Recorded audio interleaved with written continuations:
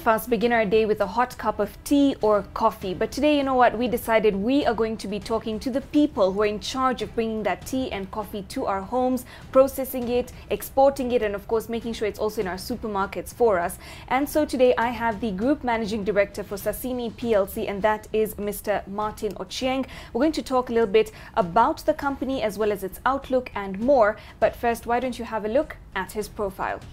Martin Ochieng is a holder of a first-class honours Bachelor of Science degree from Moi University and an MBA in Strategic Management from Oxford Brookes University, UK. He is a current member of the Board of Directors of the United Nations Global Compact Network Kenya and Sasini PLC Managing. Martin has extensive global leadership and work experience across the pharmaceutical, FMCG, and services industry in North America, Europe, Asia, the Middle East, South Africa, and Sub Saharan Africa. He has worked for 3M Healthcare, Warner Lambert Pharmaceuticals, Pfizer Incorporated, KWV International, Tyco International, GHM South Africa, SGA Kenya, and now Sasini PLC in various marketing, commercial, and managing leadership roles. He is a decorated recipient of the Pfizer Global Innovators Circle and has been in several global strategic and operational councils covering the pharmaceutical and service industries and has a deep passion for designing, implementing, and evaluating strategy and he currently has overall responsibility and leadership of Kenya's biggest locally owned agriculture business. So thank you for joining us on the Trading Bell today. Thank you. Thank you. It's a pleasure being here. And thanks for having me. Absolutely. Yeah. So we do like to always delve into the numbers. And I believe when it comes to Sasini, um, the last year, especially, of course, uh, ended year September 2019, we, yeah. we saw net losses of about 337 million um, from the company, which is shocking compared to the previous year because that's when there was a net profit of 293 million. Um, you know, could you just give us a bit of a lay of the land? What led to that point? Yeah, thanks. That's a, a, very good question. I think it's a, a very nice place to start because uh, numbers do tell a serious story in most businesses. As you would know, Sasini is an agricultural business. It's Kenya's biggest agricultural setup. And uh, traditionally, our business has been based on uh, commodity products, tea and coffee. Uh, up to about three or four years ago when we diversified into macadamia and avocado as well. And we have a small little division that sells value-added products in the local market. So the reason I mention that is there's a need for one to understand what happens in commodity trading. Mm -hmm. And if your business is based on commodity trading, then there's one aspect of your business you don't have control of, and that's commodity prices in the auction. So we sell our tea uh, up to about uh, mid last year, 80% of our teas uh, that we produce are sold through the auction, the tea auction in Mombasa. And about 60% of the coffee that we mill and produce as well is sold through the Nairobi Coffee Exchange. And uh, we've seen um, uh, global tea prices collapse about 16 months ago and they've stayed down. The effect of that is uh, you don't have control of what the selling price is. So what the market looks for is when the, when the prices collapse like that, for you to absorb that reduction. Uh, and uh, unfortunately for us, we don't just do tea, we do tea and coffee. And uh, in the last one year, we had collapses in both crops. So the things that we have in our sort of like hands that we can control are our cost of production. Unfortunately, I think the industry and the way it's set up and Sasini is not different. Uh, it's, it's not one of those things you can react to very quickly. So the reaction to that needs to be strategic, needs to be operational as well, but it does take time. So a lot of that loss is uh, driven by uh, tea and coffee prices being way below the cost of production for both commodities. So that is one. We had, and that drove about maybe 80% of that number that you quote. Then we had also in that financial year some special items, uh, some capex items that we wrote off and uh, sort of like took in the books, and that contributed to that loss as well. But lastly, to answer that question, is uh, you do see the first item that I was talking about, which uh, relates to global uh, commodity prices fluctuate like that. It's very cyclical. It happens without fail almost every five to seven years. Uh, you'll see a drop in, in in, in, in realization in the auctions. A lot of it is driven by oversupply, too much production of tea at a particular time. Uh, I don't know if you know this, but uh, Kenya is the third largest producer or has the third largest um, amount of tea produced mm -hmm. by a country. but it's the world's biggest uh, black tea exporter. And uh, we come after China and India. And those two countries, yeah, the China has about 2 million hectares under tea. Uh, almost 100% of that is consumed in China, and it's mainly green tea. India comes a second uh, with about 1.4 million hectares under tea, and Kenya is a distant third with about just over 400,000 hectares under tea. And um, be because of India and China uh, consuming a lot of their teas uh, locally, mm. we are the biggest exporter. And so um, when we have overproduction in Kenya, you see the demand and supply curve coming in, and so our prices get depressed. And uh, that, unfortunately, was the case last year, and that affects companies like ours uh, very aggressively second to that is we're not just affected in tea, we're affected in coffee as well. So when you have both commodities and a cost of production, you see it in the numbers. Okay, so a lot of factors there. Um, you did mention that, you know, of course, we are big on the exports. Now, mm. when we look at the fact that as of Friday the 13th, 2020, the Ministry of Health in Kenya has already confirmed that the coronavirus is here. Mm. We've, of course, seen confirmations across the globe of the same. Um, we've been, uh, we've seen that it's now uh, been termed a pandemic. Um, and of course, a lot of countries and a lot of uh, exchanges, we're talking about the FTSE, we're talking about the Dow Jones, they've all seen plunges in terms of uh, their numbers. You know, exports. How are you planning to somehow safeguard yourself from that hit? I don't know whether you would classify a pandemic like that as a natural disaster occurring naturally because you don't plan for it. Yeah. And so when it comes, uh, uh some companies and some businesses are able to react to that um, it is going to affect us, and in fact, is already affecting us directly because in two ways. One, is uh, shipments out of uh, Kenya, especially into the Asian subcontinent and specifically to China because that's the epicenter of where the disease came from. Mm -hmm. And so you're seeing a lot of, uh, and, and shipments either way, so shipments to and shipments from China.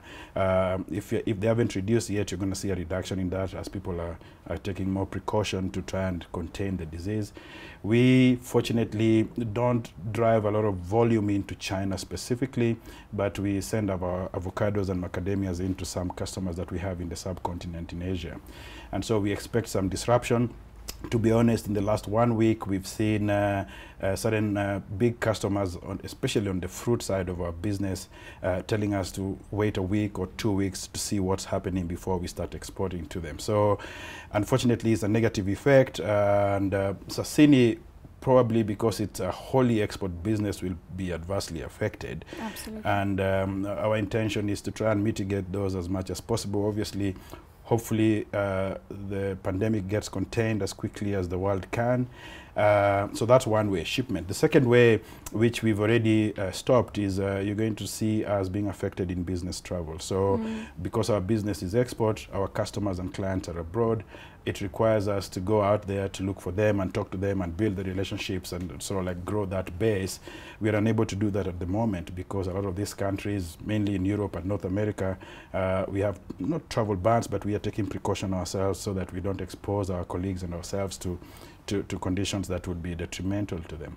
And so that again might slow you know, the effort that we have every year in driving our business going forward. Um, I think that as a company, uh, and I would be surprised if there was any company that would say we were prepared for this when it was announced. I think what is important is how quickly you can adjust what you do to mitigate the negative effect of these pandemic uh, outbreaks whenever they occur. Uh, so yeah, hopefully they get contained uh, to contain this very quickly and uh, we can go back to business as usual. Absolutely, and yeah. of course, uh, it's affecting a lot of people that we keep in our prayers as well. Mm. Um, let's talk a little bit about the avocado ban that we had seen uh, come in effect uh, around November 15th, and that was the ban on avocado export.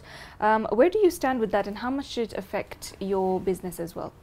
I think there's a lot of misconception about that ban. Mm. Um, uh, the, the government body, the uh, AFA, that controls the export movement of fruit and nuts and mainly agricultural products, uh, has a window within which you can't export the product. Every year it happens. Uh, I, I, think there was just a lot more news around it uh, this time when it happened in November.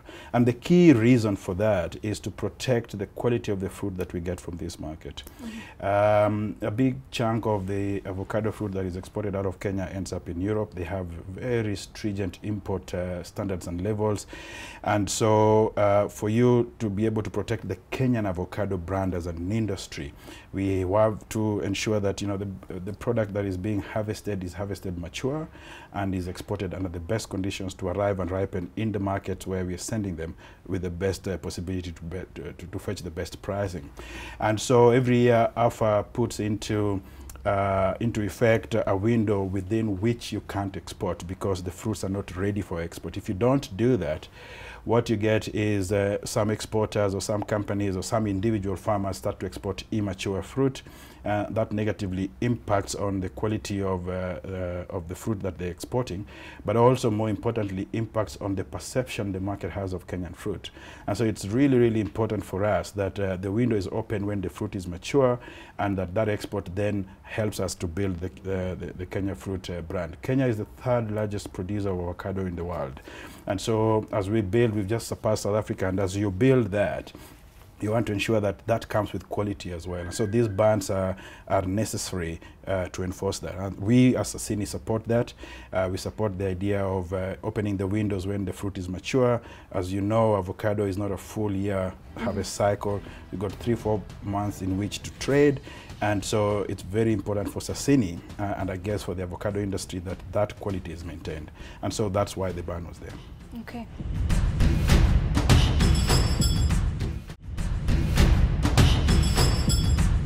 Um, moving uh, back to the company in terms of the labor force, yeah. uh, we did see quite uh, a number of uh, you know people retrenched. We saw close to 240 in January, I believe, were the numbers that came out. You can clarify for us, um, and some last year as well.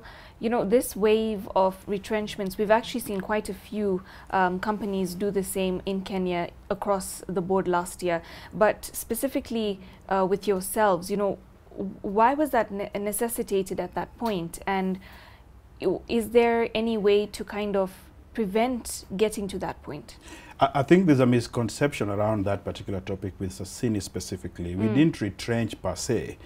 We have a, a labor force, uh, uh, especially that works in the field, that we contract on an annual basis and we contract them on a need to respond to the amount of crop we need to work with. And um, invariably, in some years, that crop yield is higher, in some years it's lower. And so if you look at our annual reports over the last several years, you'll see movement in staff. It really talks to that level. Mm. So it's not retrenchments. Uh, that, that's not true. Um, so, so that's the one point to clarify. The second point is, as I talked earlier about our cost of production, uh, which is the one key aspect of our business that we have under control. Uh, we've been looking um, at ways of bringing that down. One of the one of the things that we have to do is to use technology more and better to help us to bring our cost of production so that we are competitive, and so in that way start to mitigate a bit of these price fluctuations we see in the market.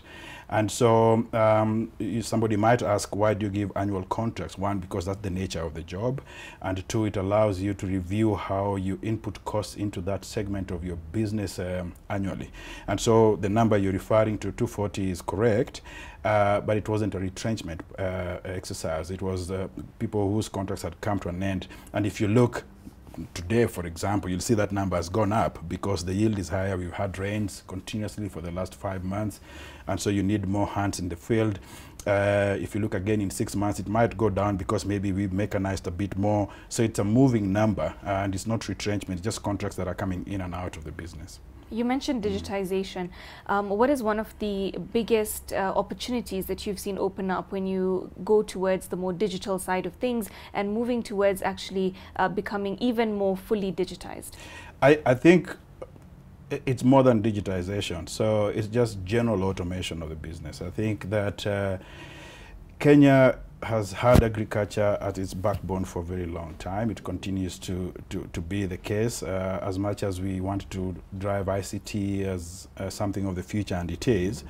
We can't run away from the fact that our economy is backboned on agriculture. Uh, and there are two ways of doing that. The bulk of our agricultural products, especially the ones that we export, uh, come from small-scale farmers. So someone with half an acre, an acre to five acres, maybe 10 acres. And then the other half would probably come from plantation groups like Sasini. Um, um, the reason that uh, some of the products we've seen struggle in the agricultural sector uh, with attracting good pricing is because we've not had a very strong uh, hands-on approach with controlling the costs that are going into the production of these products. And so, uh, because we've stayed labor intensive, um, the work that is done is done by human beings, by a set of hands, and I'm not saying that's wrong, but it's become very expensive with escalation in labor costs every year. Uh, and so a lot of companies uh, that have these plantations look into different ways of doing this, and there's technologies all over the world, uh, you know, that you can employ from right from harvesting all the way to value addition. And so uh, Sassini is bang on in that space at the moment. Uh, so the biggest opportunity we have is to tackle our cost of production uh, by rolling out um, this automation in aspects of our value chain that would give us back the benefit of reducing the cost, protect our investments better, uh, allow us to produce better quality uh, more efficiently uh, and attract a good price uh, by reducing that gap you have between your COP, your cost of production, and your realization in the auction market or wherever you sell privately. So, and that's not just a Sasini thing. I think you're seeing that uh, challenge across all uh, of our industry, especially in the tea in the tea sector. Uh, the big plantations are uh, aggressively looking at ways to reduce the amount of money that we spend producing a kilo of tea mm. or a kilo of coffee. And uh, that's going to continue going forward because we want to be sustainable, we want to do it responsibly, and we want to do it sustainably. Uh, and so it, it's, it's something that is not starting now. It's been in the, in the industry for quite some time. A lot of it is around mechanization of processes. For example, harvesting, transport, um, modernizing the factories uh, so that you're using more modern, uh, less labor intensive processes as opposed to what we've been used to in the past. So we're going to continue to do that because we'd like to secure the future of the organization by being sustainable. Okay. Mm. And um, coming back, of course, recently the NSE uh, did join uh, seven stock exchange around the world to ring the bell for gender equality. And uh, tell us a little bit about the policies that you know your company has adopted in order to close existing gender gaps we are very deliberate about that. It, it comes under our sustainability uh, pillar in our strategic framework. So there, there are several things we've uh, we've chosen to do going forward as an organization. Uh, one, obviously, uh, is to you know drive a performance culture to make sure that we celebrate our successes. We put a lot more deliberate effort in doing what we do to be successful. Secondly, which is probably the most important pillar, is focusing on cost containment and cost management in our cost of production so that we keep that at a level that we are comfortable with to make us profitable, of course, but more importantly, to make us sustainable. We want our great-grandchildren to find a great organization that we set up for them. Thirdly is uh, to continue to drive uh, commercial activities uh, that bring in the revenue and hopefully a lot of that revenue flows into the bottom line so that you have money to reinvest. Uh, and that is why we diversified into macadamia and avocado to mm -hmm. expand our revenue stream. So we reduce our reliance on tea and coffee. Uh, uh, and that's a, a, focus that you'll see us continuing to look at uh, when we see those opportunities we'll explore them Fourthly, uh, is to focus on our talent, the people that work at our organization, and, and, and empowering them, giving them the best environments to work in, uh, and uh, skilling them upskilling them to ensure that they can give us back exactly what we want to drive the results that we seek. Fifth is to improve on our financial performances, the numbers that you talked about, make sure that we have enough reserves to take care of the organization going forward, but also to reward all our stakeholders from our shareholders, our directors and our employees and all those regulatory bodies that we work with. Mm. Uh, because it, it uh, and we, as you would know, being a listed company, it's really, really critical that your financial standing is strong. Lastly, which is the pillar that uh, takes uh, you know into account what you're talking about, is to do all this sustainably. And so in that sustainability pillar, we have four key things that we work with. One is uh, general adherence to proper human rights. We treat mm. everybody properly. Uh, in accordance with the Sustainable Development Goals. Two is to have labor practices that uh, are clean uh, and sustainable for the organization. Even when we, we bring in technology, we manage those transitions in a way that, are that, that is fair to everybody, fair to ourselves, fair to whoever is affected. Lastly is a zero tolerance to, uh, to corruption. We just uh, want to create a corruption-free environment in Sasini, and that calls for us to be deliberate about that. And there's a deliberate uh, skew towards uh, driving um, our gender parity so that we do have a 50-50 balance uh, with regard to all levels of our employment. The agricultural sector is traditionally male dominated mm -hmm. and so if you want to make a difference you've got to be deliberate about it. So I'm very excited that uh, we participated in the bell ringing uh, uh session and uh, that we get given the opportunity to showcase what we are doing as an organization and hopefully okay. other organizations can look at that and copy us. Absolutely. Thank mm. you so much. And I'd like to wrap up with a vital, important question, I would say. Do you prefer tea or coffee? I personally grew up drinking tea. Okay. And uh, and so somebody would think, and I guess a lot of Kenyans uh, say they are tea drinkers. Uh, coffee was an acquired taste for me when I got to the university. Yeah. And uh, sort of like got onto it from the wrong side because I had a roommate who used to tell me that if you want to stay up studying, drink coffee, it will stimulate you and, yeah. you, and you won't go to bed. Uh, I, I, don't really have a, a, specific preference. But in saying that, uh, I think those two crops are extremely important for our agricultural segment. I think tea, from what I remember, I may not have the exact number, contributes to about 7% of our GDP mm -hmm. on its own as an mm-hmm. industry. And so uh, it, it, becomes extremely important that uh, we take care of that. So the whole industry produces about 550 million kilos of black tea. 4% of that is drunk locally. So it tells you, even though Kenyans think we're a tea drinking or a tea consuming market, we really are not. We're only consuming about 4% of what we produce. And so it's really important for companies like Sassini to be involved in growing that category, growing that culture, and growing the aspect of you need to drink tea for all its health benefits, for all its recreational benefits, and for the fact that we grow it. We, we, we really must be proud Take pride in it. Yeah. yeah. Coffee, on the other hand, is growing well ahead of tea um, globally and in Kenya as well, okay. driven by the cafe culture, driven by the need to meet at Java or at Art Cafe to over a cup of coffee, they say. Yes. And so we are aided from that perspective. But you're seeing a general global trend of uh, consumers looking for health foods. And so hopefully we can ride on that wave to try and drive a lot of more consumption uh, across those two beverages. Okay. Okay. Well, thank you so, so mm. much for all your insight, all your wisdom. Uh, we really appreciate it. Thank you. Thank you. It's a pleasure being here. Thank you so much.